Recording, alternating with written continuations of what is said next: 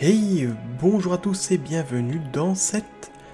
Alors, j'allais dire deuxième vidéo critique, mais c'est quand même vachement mensonger puisque j'avais déjà passé en revue d'autres jeux, mais pas de cette façon-là. On va reprendre le système que j'ai mis en place pour Apex, ça me semblait relativement convaincant.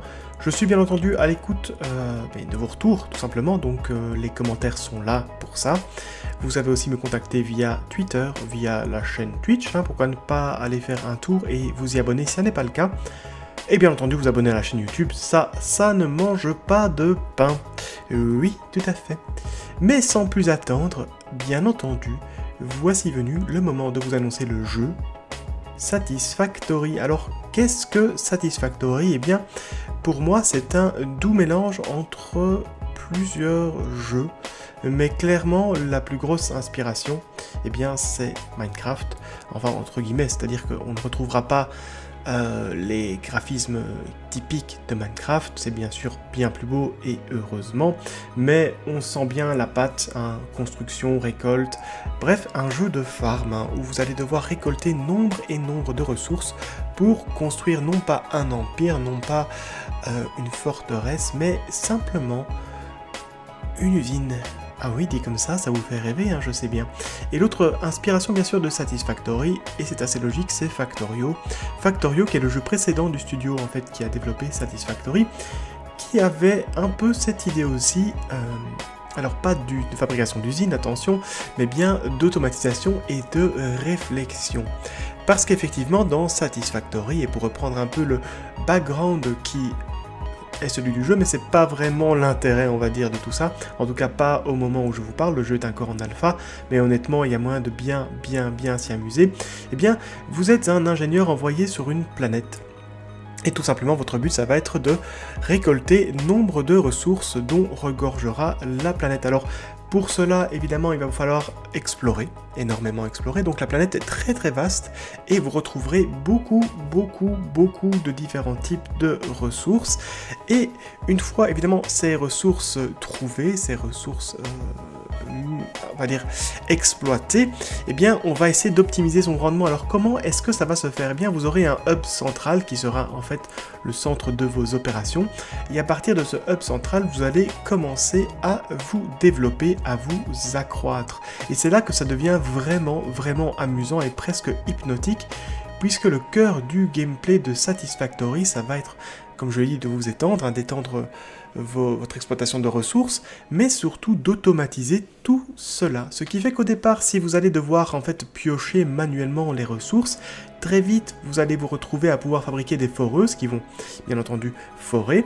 Ces foreuses pourront acheminer les minerais bruts vers une fonderie qui elle-même va fondre les minerais pour en faire des lingots, et de ces lingots, vous allez pouvoir en fabriquer différents, évidemment, euh, on va dire, ingrédients qui vous serviront à fabriquer plus de choses au fur et à mesure de la chaîne de production. Ce qui va pouvoir vous amener en fait d'un simple minerai à par exemple eh bien un bâtiment entier, hein, en bout de course bien entendu, et une fois que vous aurez récolté de nombreuses ressources.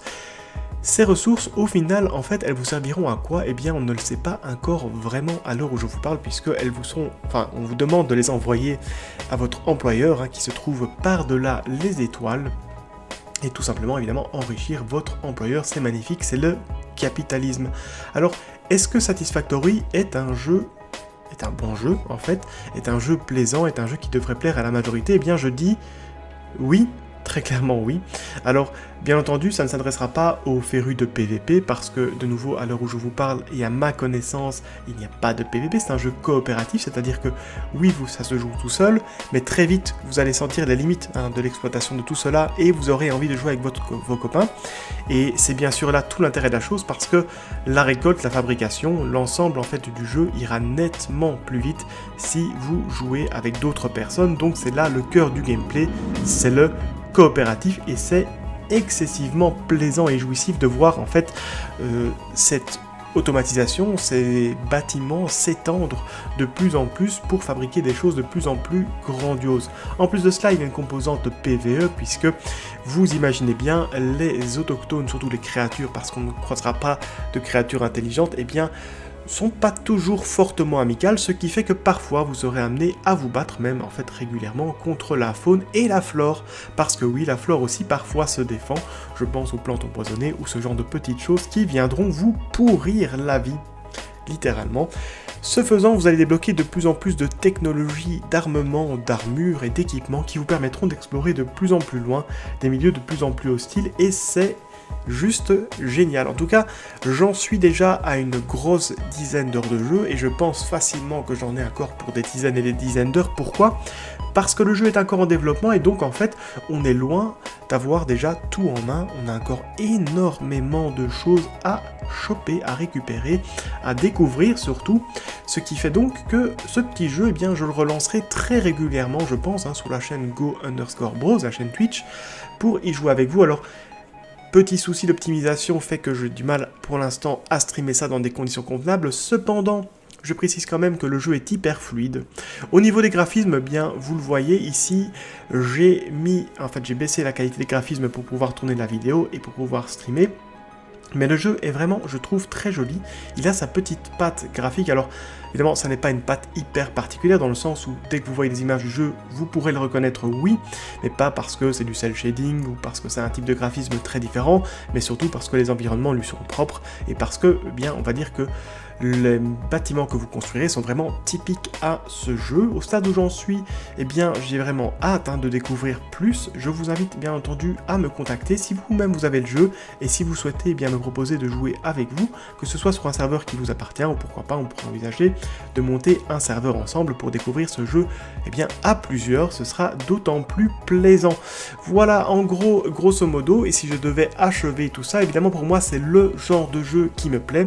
J'étais et je suis un grand fan de Minecraft et en fait de tous ces jeux de construction, ces jeux de farm en fait, hein, où vous devez farmer pendant des heures, des heures et des heures pour construire de plus en plus de choses. Je pense par exemple à Ark aussi qui m'a énormément plu, à Atlas, une petite déception, mais qui tend peut-être à s'améliorer, à plein de petits jeux comme ça où en fait vous pouvez construire petit à petit des choses et c'est moi ça me, ça me fait kiffer tout simplement, j'ai pas vraiment d'autres termes à dire.